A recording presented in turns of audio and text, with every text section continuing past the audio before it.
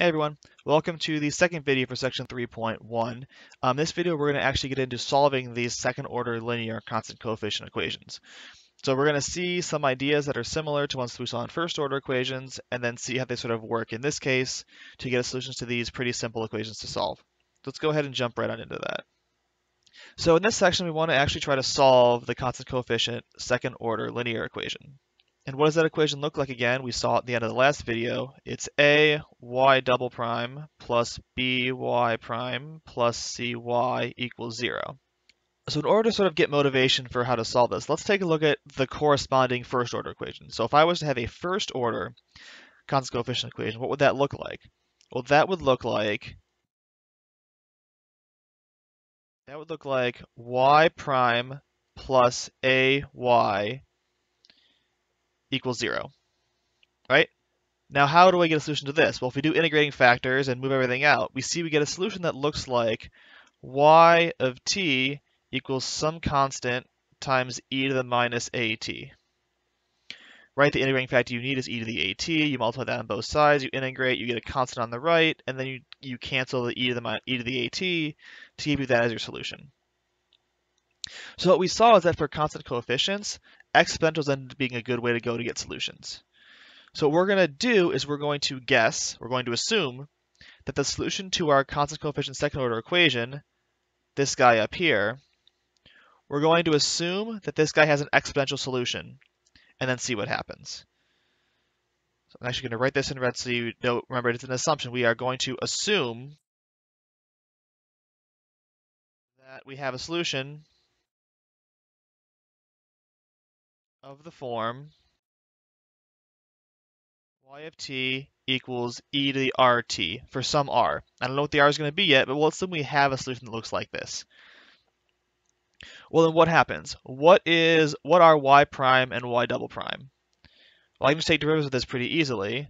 y prime of t is just r e to the rt, and y double prime of t is just r squared e to the rt. Right, that's how exponentials work. You just pull down constants that are in front when you take derivatives. So let's plug all of this into our actual ODE and see what we get. So I had a y double prime plus b y prime plus c y equals 0, which turns into a r squared e to the rt plus b r e to the rt plus c e to the rt equals 0. And now e to the rt is never 0, so I can just divide both sides by e to the rt, get rid of u, get rid of u, get rid of u, leaving me with ar squared plus br plus c equals 0. And this will get an orange box because it's more important. So what does this equation tell me? This tells me that if R solves this equation, then e to the RT is a solution. So if R satisfies this equation, then phi of t equals e to the RT is a solution to the ODE also vice versa goes through. If I have a solution of this form, then R solves this equation. So everything, we just did equations back and forth, so everything was, you know, up and down goes the same way. So we had this idea. If R solves this equation, then e to the RT is a solution. So all I have to do is find the roots of this quadratic polynomial. That's pretty easy. The A, B, and C, should be suggestive. We just have quadratic formula. So we always have two solutions, right? So our roots are going to be of the following form r is going to equal negative b plus or minus the square root of b squared minus 4ac, all divided by 2a, right? Quadratic formula tells you what my roots look like. And this is always the case. We get this answer. So that that's, I mean, that effectively solves the equation. Um, if I assume I have solutions of the form e to the rt, this is how I find my r, and I get solutions of that form. Um, there are a couple questions still to ask here. Well, what can happen to these roots and what happens? And two, is that really all the solutions? So in section 3.2, we will go through the proof that as long as I get two solutions here, we have all the solutions for the equation. That's enough to specify everything. So that's at least a start. If I can get to the through 3.2, that'll tell me this part. But the other question is, well, how do we get solutions of this form? So if we look at this expression here, there are three different cases for what kind of roots we can get. Right, let me move this up a little bit so you can still see the equation here. That's our roots right there. There are three different options. Option one, the roots are real and distinct.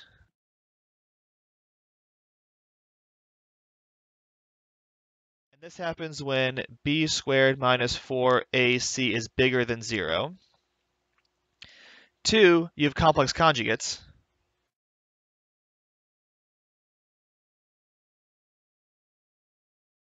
This is b squared minus 4ac less than 0. And three, you have a repeated root. This is when b squared minus 4ac equals 0. So there are always going to be two solutions, so one of them might be doubled, and these are the three cases for it. If b squared minus 4ac is bigger than 0, you get two distinct roots that are both real.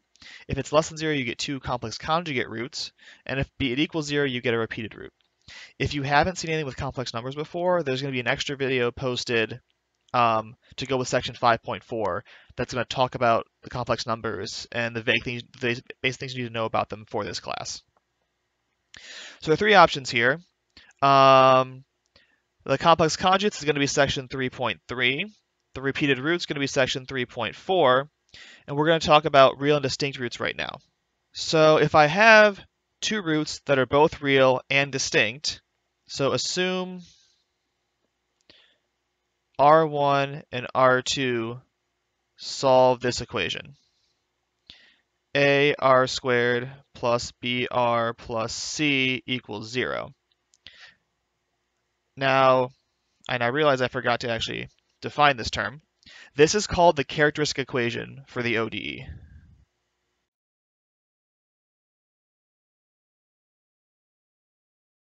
The ODE, a y double prime plus by prime plus cy equals 0. That is the term given to this quadratic here for this equation, right? So from a linear constant coefficient ODE, we can derive a characteristic equation, and the characteristic equation corresponds to an ODE. So if I have these two roots, R1 and R2, that solve my characteristic equation, then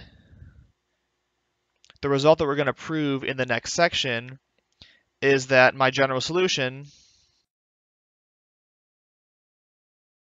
is of the form y of t equals c1 e to the r1t plus c2 e to the r2t. We already know that this guy and this guy both individually solve the ODE because their corresponding roots are, of course, solve the characteristic equation. But the point that the fact this is a general solution, we don't know yet. That's going to come up in section 3.2 but you can write it down right now. If you have two distinct roots, the general solution is always of this form. It's a constant times e to the first root of t plus a constant times e to the second root t. All right, um, that is the points for this video. We just had to get through how to, what a characteristic equation is and how, what general solutions look like for real and distinct roots. We'll have general solutions as well for the repeated root case and the complex root case, but those will come in the next couple sections.